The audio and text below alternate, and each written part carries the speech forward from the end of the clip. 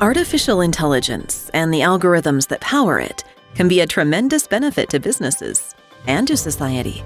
AI can enhance productivity, sharpen analytical capabilities, and vastly improve the consumer experience.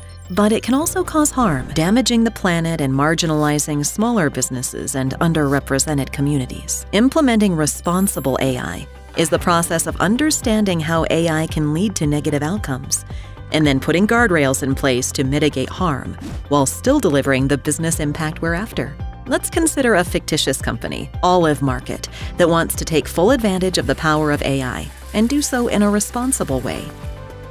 Olive Market wants what every retail company wants to deliver a consistent shopping experience by maintaining a well stocked store amid increasing market volatility. Responsible AI starts with an understanding that long term success depends on building customer trust and loyalty. For Olive Market, that means a corporate commitment to respect the environment, source products with integrity, and act in ways that support the health and well being of its surrounding communities. As it begins to build its AI infrastructure, Olive Market would reinforce its commitment to responsible AI by using external reviewers and tools to test and assess algorithms and implement bias mitigation measures when using any kind of training data. One example of the need for bias mitigation is the use of computer vision. Computer vision algorithms must be trained by feeding them labeled images of customers walking into stores. But if those images aren't representative of the population, including people with different skin tones, Olive Market's computer vision system may undercount people of different racial and cultural backgrounds. Thus, these customers' unique dietary needs and preferences might not be reflected in Olive Market's purchasing decisions. To mitigate this bias, store owners could require their AI solution vendor to test for various skin tones and achieve comparable performance before using the computer vision system in their stores. That way, Olive Market has confidence the system will work for their customers. Hallucinations can occur in personalized texts that are sent out to customers with non existent items and incorrect store locations.